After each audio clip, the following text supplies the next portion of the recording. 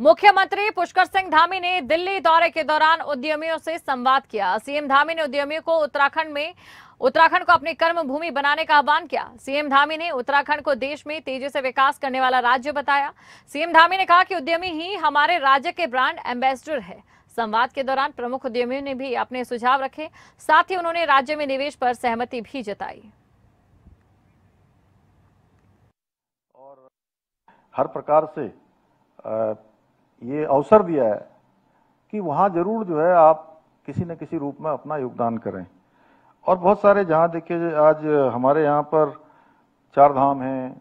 चार धाम के अलावा हरिद्वार, ऋषिकेश, माँ गंगा का गौमुख, यमुना जी का अनेकों नदियाँ, शारदा जी, महाकाली जी, सरयू, अनेकों नदियाँ पर्वतों से आच्छादित और वनों से आच्छादित जिधर देखिए आप 71 परसेंट अभी जो हमारी लैंड है टोटल स्टेट की, उसमें से 71 परसेंट जो है आज फॉरेस्ट है।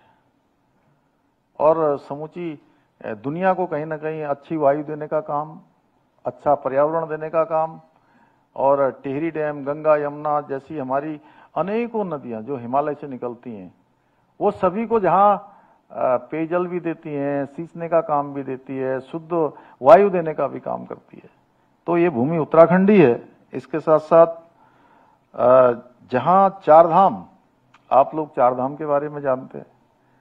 चार धाम हमारे हैं और चार धामों में बहुत काम हो रहा है इस समय। पहले आपका वहाँ जाना इतना कठिन था कि लोग जा नहीं पाते थे क्योंकि बड़ी कठिन यात्रा होती थी, सड़कें भी बड़ी खराब होती थी। आज जैसा डॉक्टर संधू साहब ने यहाँ से बताया आपको कि कुछ ही समय बाद आप दो घंटे में देहरादून पहुँचेंगे। दो ही घंटे में आप ऋषिकेश भी पहुँच जाएँगे। और ऋषिकेश पहुँच जाएँगे तो ऋषिकेश से आप बद्रीनाथ कब पहुँच गए, आपको पता भी नहीं लगेगा। पहले ये यात्रा कई दिनों की यात्रा होती थी। अब ये कुछ घंटों की यात्रा हो गई है। जहाँ चार धाम में केदारनाथ जी का पुनर्निर्माण का काम, आप सबको पता है कि नया केदार बन गया है 2013 की जो आपदा आई थी, उस आपदा में बहुत नुकसान हो गया पूरा का पूरा, वो वो परिसर पूरा बुरी तरह से जो है प्रभावित हो गया था।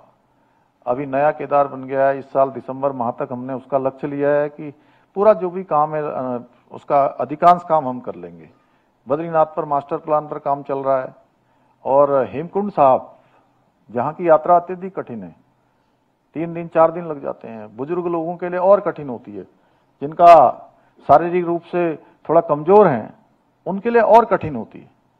लेकिन हमारे प्रधानमंत्री जी ने, आदरणीय मोदी जी ने वहाँ के लिए रोप वे की व्यवस्था कर दी है। आने वाले समय में वहाँ रोप वे लग जाएगा। उसकी शिलान्यास हो गया है। उसका केदारनाथ जाने